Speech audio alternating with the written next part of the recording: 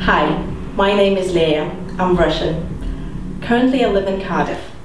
I've studied drama and I work as a holistic therapist, but my real passion is modelling and performing arts. I've won pageants like Miss Fashion vs Beauty and Miss Progress United Kingdom. I've participated in a lot of filming projects which I absolutely loved. I can be a girly girl. Um, I love dancing and food. I love motorbikes and I'm currently riding Yamaha YZF R125. My claim to fame is representing United Kingdom in Miss Progress International in Italy. Please come and support me at the grand final of Miss USSR UK on the 22nd of April. Baka.